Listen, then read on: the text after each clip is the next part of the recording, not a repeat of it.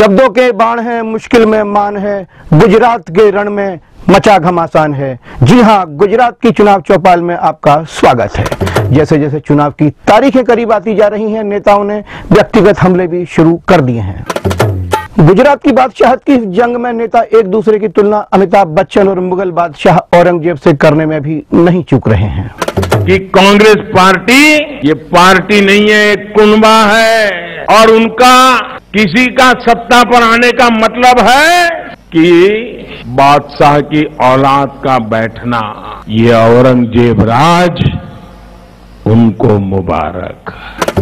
दो तीन बार ऐसे भाषण में इमोशनल हो जाएँगे मोदी जी। अमिताभ बच्चन से बेहतर एक्टिंग करते हैं। नेताओं की यह लड़ाई तो अपनी जगह है लेकिन गुजरात के मतदाता के मन में क्या चल रहा है? इस बारे में जानने की शायद किसी को फुर्सत ही नहीं है। चुनाव हम चाहते हैं कि भाजपा सरकार ही जीते क्योंकि नरेंद्र मोदी जब गुजरात के मुख्यमंत्री थे तब उसने महिलाओं की सुरक्षा के लिए और कन्याओं को पढ़ाने के लिए बहुत सारे अच्छे काम किए। गुजरात में पहले कांग्रेस की सरकार थी पर उन्होंने कुछ अच्छा काम नहीं किया है। कि भाजपा की सरकार ने बहुत अच्छा काम किया है तो इस बार चाहते हैं कि इस चुनाव में भाजपा सरकार ही जीते।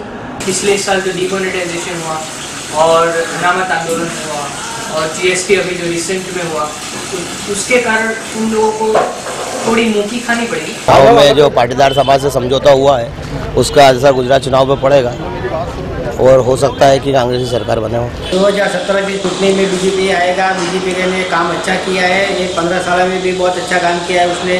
भाजपा ने बहुत अच्छा काम किया है इसीलिए हमको लगता है कि भाजपा ही आएगा। लगातार बीजेपी की वहाँ सरकार रहने के बाद इस बार कांग्रेस कहीं मैदान में नज़र आ रही है और मुझे लगता है कि टक्कर तो होगी। कांग्रेस इस बार वहाँ टक्कर देने की स्थिति में है। धर्म क्षेत्रे कुरुक्षेत्रे समवेता युद्ध सभा माम कहा पांडवाश्चैव किम कुर्बत संजय, महाभारत के युद्ध के समय धृतराष्ट्र ने संजय से धर्म क्षेत्र कुरुक्षेत्र का हाल पूछा था। उसका परिणाम तो हम सब जानते हैं, लेकिन गुजरात का चुनावी युद्ध भी इस बार धर्म क्षेत्र बन गया है। यहाँ कोई जनेऊ दिखा रहा है तो कोई किसी के धर्म पर ही सवाल उठा रहा है। दरअसल राहुल गांधी के सोमनाथ मंदिर दौरे में गैर हिंदू रजिस्टर में कथित तौर पर एंट्री होने के बाद कांग्रेस ने राहुल का जनेऊ दिखाते हुए खम ठोक कर कहा कि वे जनेऊधारी हिंदू हैं। कांग्रेसी राज बब्बर ने तो यह भी कह दिया कि भाजपा अध्यक्ष अमित शाह तो हिंदू ही नहीं है। शायद लोगों को याद हो कि एक बार गुजरात में मोदी ने मुस्लिम टोपी पहनने से इनकार कर दिया था।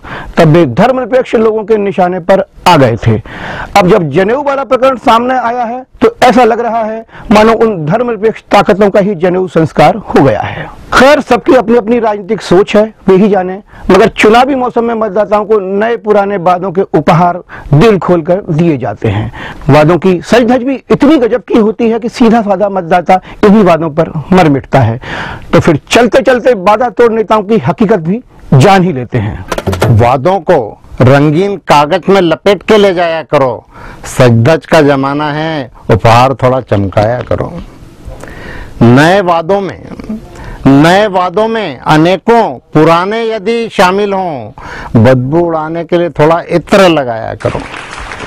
बम्पर जीत का नायाब नुस्खा हुआ करते हैं वादे। बम्पर जीत का नायाब नुस्खा हुआ करते हैं वादे। किसी विशेषज्ञ की मदद से नुस्खा बनवाया करो। सुनने में असंभव से यदि लग रहे हों आपके वादे। सुनने में असंभव से यदि लग रहे हों आपके वादे, उन्हें आंकड़ों की जादूगरी के साथ दिखाया करो। अपने वादों से विरोधियों के वादे कटकर उड़ जाएँ। अपने वादों से विरोधियों के वादे कटकर उड़ जाएँ। मांझे की तरह वादों पर सच का पालिश लगाया करो। अंतिम पंक्तियों में दाद चाहूँगा। कहीं मांग न बैठे, जनता तुम्हारे पुराने वादों का हिसाब। कहीं मांग न बैठे। जनता, तुम्हारे पुराने वादों का हिसाब बस केवल चुनाव के पूर्व ही अपने क्षेत्र में जाया करो। गुजरात चुनाव पर हमारी यह प्रस्तुति आपको कैसी लगी हमें ज़रूर बताइएगा और इसी तरह देखते और पढ़ते रहिए वेब दुनिया। नमस्कार।